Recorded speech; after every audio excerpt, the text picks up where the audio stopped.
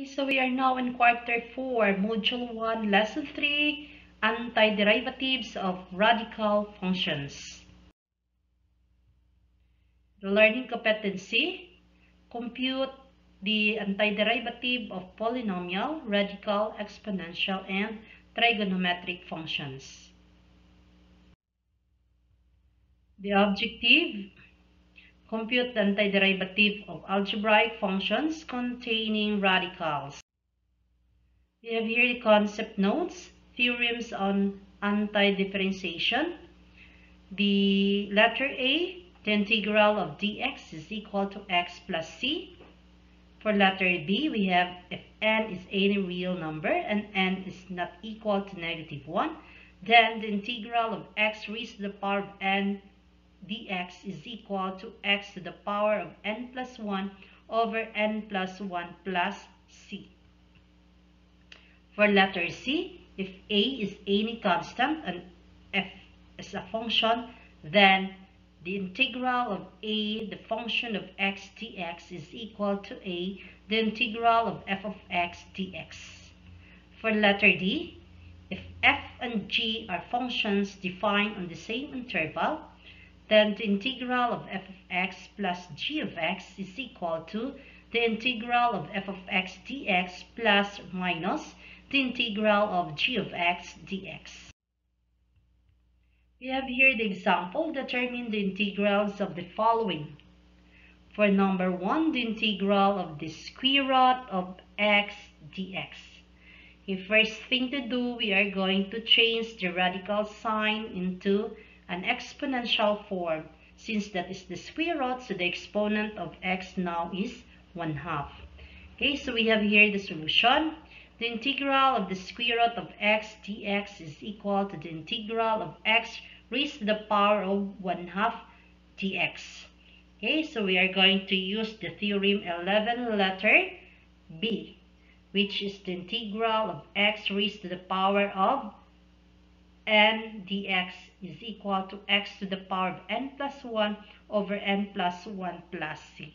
Since our n is 1 half, so we have here x raised to the power 1 half plus 1 over 1 half plus 1 plus c. And 1 half plus 1 is 3 halves. So x raised to the power of 3 halves over 3 halves plus c. And remember that our denominator is a fraction, so we are going to find the reciprocal of the divisor. Okay, so we have here uh, x raised to the power of 3 halves multiplied by 2 over 3. The result is 2x to the power of 3 halves over 3 plus c. Okay, another example, the integral of 4, the square root of u du. Okay, so we have here the solution. Another is the square root of u and we are going to change that one into a exponential form. It becomes 4u to the power of 1 half du. Okay, so remember that the value of n is 1 half. We have here 4 x to the power of n plus 1 since our x is represented as u and the value of n is equal to 1 half so it becomes 4 u to the power of 1 half plus 1 over 1 half plus 1 plus c. And remember that 1 half plus 1 is equal to 3 halves so we have here 4 u to the power of 3 halves over 3 halves plus c. And remember that our denominator is a fraction, so we are going to find the reciprocal of the divisor. So it becomes 4u to the power of 3 halves multiplied by 2 over 3 plus c. So the result is 8u to the power of 3 halves over 3 plus c. Okay, another example. The integral of t times 2t minus 3, the square root of t derivative of t. Okay, so we have here the solution. t times 2t, that is 2t cubed, minus t times 3 square root of t is equal to negative 3t to the power of 3 halves because when we are going to multiply t and square root of t, remember that square root of t is 1 half and the exponent of t is 1, so 1 half when we are going to multiply the same variable, copy the variable, then add the exponent.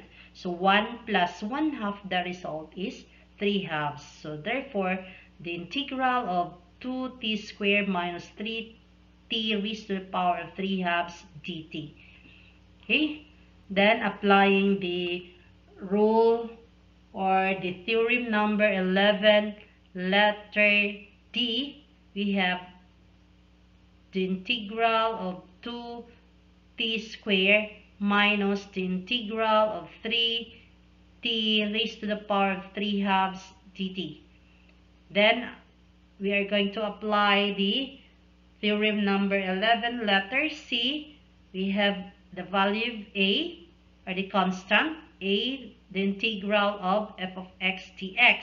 So it becomes 2 the integral of t squared dt minus 3 the integral of t raised to the power of 3 halves dt. Then after that, we are going to apply the theorem number 11, letter B, where x raised to the power of n plus 1. In the first example, from 2, the integral of t squared dt, the value of n is 2.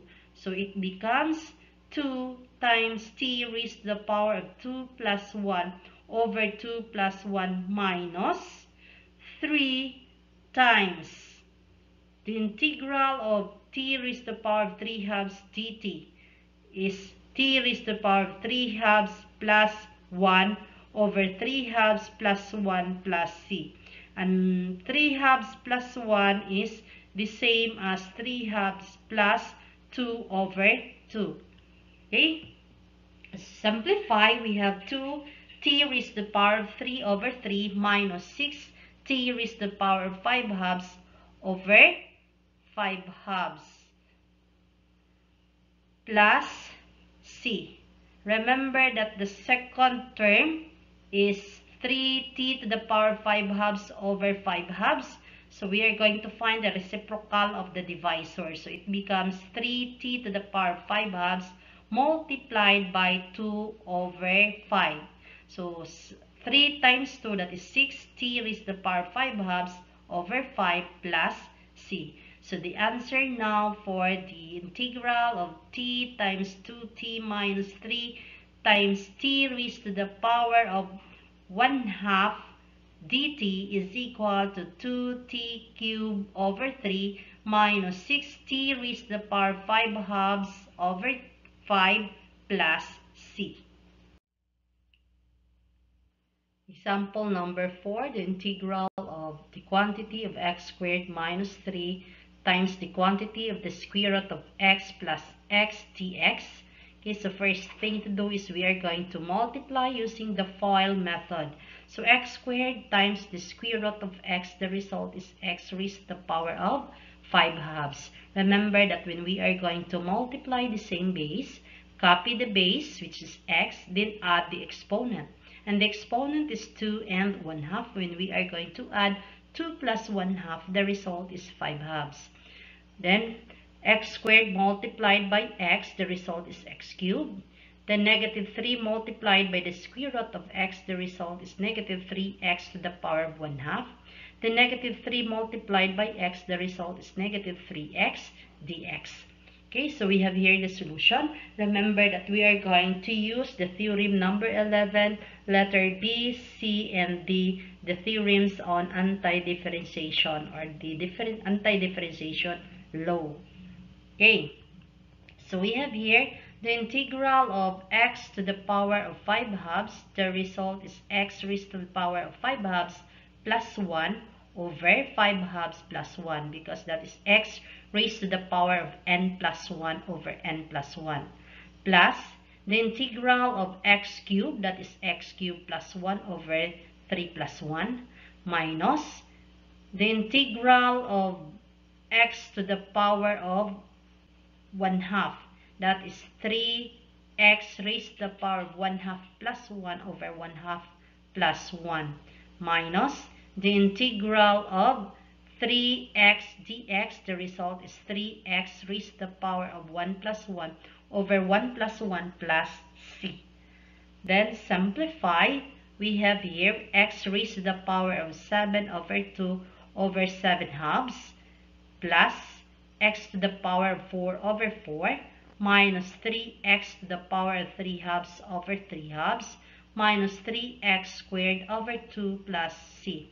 Remember that if the denominator is a fraction, we are going to find the reciprocal, then proceed to multiplication. So from x raised to the power of 7 halves over 7 halves, it becomes x raised to the power of 7 halves times 2 over 7. So it becomes 2x raised to the power of 7 halves over 7 plus x to the power 4 over 4 minus 3x to the power 3 halves times 2 over 3. We can cancel 3, so the result now is negative 2x raised to the power of 3 halves minus 3x squared over 2 plus c. So that is now the answer. Okay, what's more? We have here the four exercises that you are going to answer. Thank you for listening and do not forget to click the bell icon to subscribe my channel.